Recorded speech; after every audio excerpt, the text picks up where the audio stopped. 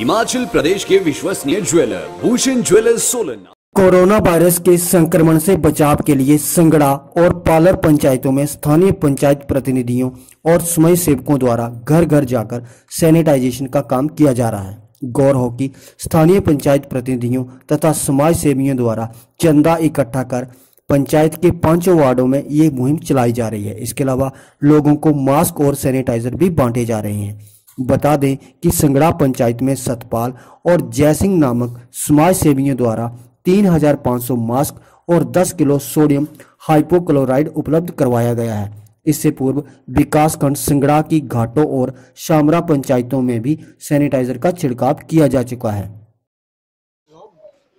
जो है गाँव के नौजवान आदमी जो है इसको पूरे गाँव को सैनिटाइज कर रहे हैं ताकि कोरोना वायरस के जो भी कीटाणु है वो से उसे मुक्ति पाई जाए।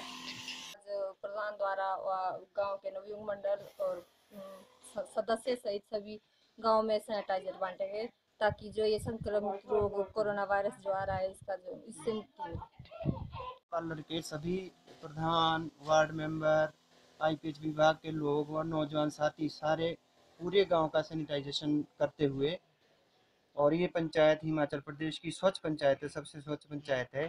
सबसे अच्छा कार्य हुआ है यहाँ और पूरे गाँव के लोग एकजुट होकर हिमाचल दस्तक वेब टीवी के लिए संगड़ा से जयप्रकाश।